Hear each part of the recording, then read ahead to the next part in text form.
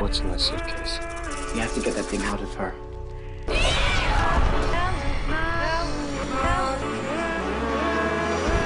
His blood is on your hands!